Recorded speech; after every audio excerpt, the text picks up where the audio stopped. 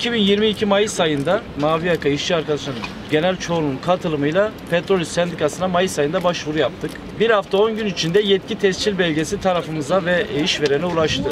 İşveren anayasal hakkı olan yargı itiraz hakkını kullanarak süreci uzatmaya çalıştı. Halbuki burada işçilerin tamamının neredeyse üye olduğu, üyesiz hiçbir arkadaşımızın olmadığı görülmekte anayasal hakkımızı bertaraf etmeye çalışmaktadır.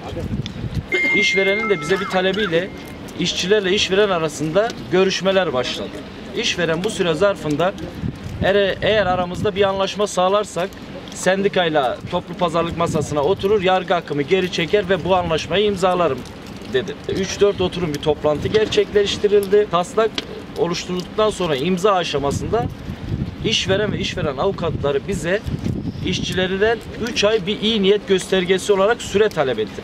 Bu süre 4 ay uzadı. İşverenden tekrar toplu pazarlık masasına oturup taslağı imzalaması talebinde bulunduk ama işveren buna yanaşmadı. Ben yargı hakkımı kullanacağım. Yargı hakkı sonucu neyse ona göre kabul edeceğim dedi. Yetkiye itiraz etti. Yetkiye itiraz etti.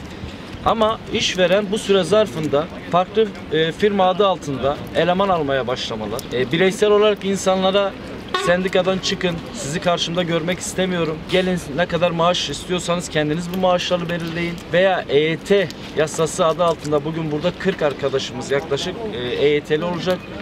Bu durum işverenin eline bir koz olarak geçmiş ki bunu bize karşı kullanıyor.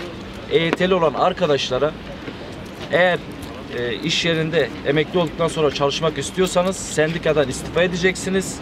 Diğer firma adı altında işe başlayacaksınız. Öbür türlü sizi burada çalıştırmam diyerek içeride sürekli baskı, tehdit ve mobbing uygulamalarına devam etti. Bizler sadece anayasa hakkımız olan sendika olma hakkı, sendikalı olma hakkımızı kullandık ve işverenden de tek talebimiz toplu pazarlık masasına oturması, yargı hakkını, itiraz hakkını geri çekip düzenli bir şekilde iş güvencesi sağlayarak bizlerin de işe geri dönmesini sağlamasını bekliyoruz. Şimdi de bize diyor ki e, bu zamana kadar benden ne istediniz de alamadınız.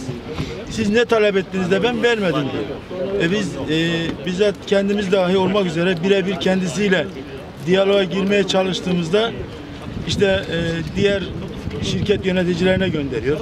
Oraya gidiyoruz. O müdüre gidiyor. Müdür benim ilgim olmuyor diyor. Yani biz bu zammı kimden alacağız? Biz bu emeği kime harcıyoruz? Biz kamu işçisi değiliz. Burada az plastik yazıyor. Az plastik işçisiyiz. E yönetici bizim derdimize derman olmayacaksa biz kime karşı emek veriyoruz? Neye karşı kime çalışıyoruz? E, haklarımız madem siz tarafından korunmuyor, bu yüzden de sendika tarafından korunsun diye bütün arkadaşlar hep birlikte bu şekilde sendikaya başvurduk. 140 kişi olarak beni temsilci seçmişlerse benim 15 senem önemli değil. Yeter ki bu bir arkadaşlığımızın birliği, beraberliği, inancı kopmasın. O bana yeterli. Az plastiğin hiçbir önemi yok benim için. Yeter ki bu arkadaşlığın birliği ve beraberliği önemlidir. Yani bunlara değmezdi yani.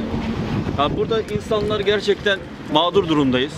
Hepimiz bak ben üç çocuk babasıyım. Bir tanesi asker, iki tane çocuk okutuyorum. Bu soğukta burada mücadelemizi ediyoruz. Bizi dinleyenlere buradan sesleniyorum. Kimse emeğin hakkını bırakmasın. Sonuna kadar devam etsin. Çünkü bu dünya patronlar dünyası değil. Garibanlar dünyası. Emek olmadan hiçbir şey olmaz. Bravo. Bütün herkese sesleniyorum. Allah razı olsun bizi dinleyenlere. Mücadeleye sonuna kadar devam. Mücadele